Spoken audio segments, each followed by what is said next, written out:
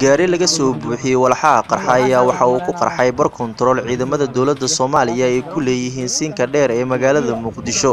Xilliga uu qarxa uu dhacayay ciidamada dowladda soomaaliya baaritaano waxa ay ku hayeen.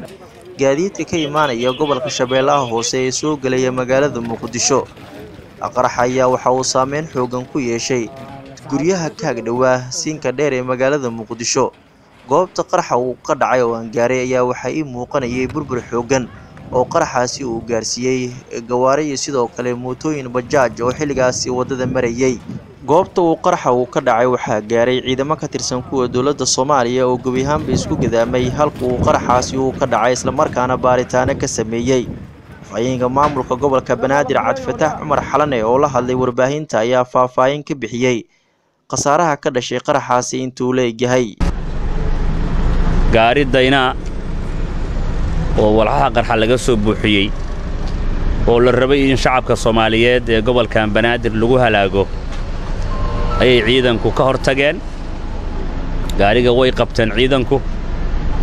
Waa la baakimay iyadoo la hayay xogtiisa la hayey waxaa loo yeedhay qaybta miinabaarista ee nabad sugiddu leedahay. Gaarigii intii ay qaybtaasi soo socdeen ayuunbuu qarxay ilaahay baa ku mahadsan in iyo ciidanka nabad sugidda in ummadda soomaaliyeed dhibkii cadowgu la maaganaay ay ciidankaasu badbaadin badan ka qayb qaateen. Waa qarxay gaarigu. Khasaare dhaawaca ayaa jira. Allaha caafiyo intii ku dhaawacantay goobta.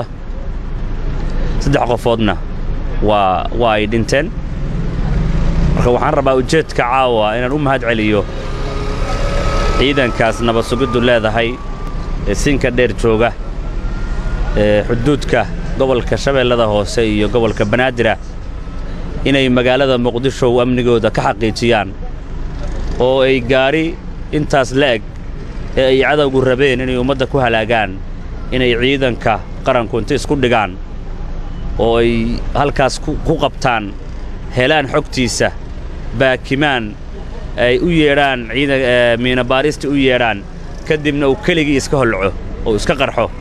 Waa guul ummaddaan u soo hoyatay waaye in magaalada muqdisho siinka dheer laga ilaaliyo amnigeedana waa guul nabad sugidda u soo hoyatay oo aannu ku ammaanayno taliya sambalolshe iyo saadaqa xukuma gobolka banaadir ee nabad sugidda. Waxaan leennahay aad iyo aad ha loo baaro oo amniga shacabka ha la xaqiijiyo oo habeen iyo maalin baad u taagan tihiine. Ilaaliya amniga shacabkiinna. Guud ahaanna waxaan idiin rajaynayaa khayr iyo barwaaqo. Nabad sugiddu aad bay aaday u mahadsan tahay. Halkan aan joogo waa siinka dheer ee duleedka magaalada muqdisho. Waxaa ka dhacay qarax khasaare geystay. inkastoo aan la xaqiijin karin tirada rasmiga ee ku dhimatay qaraxani ka dhacay siinka dheer. Cabdiraxmaan waabiri telefishinka somaali news muqdisho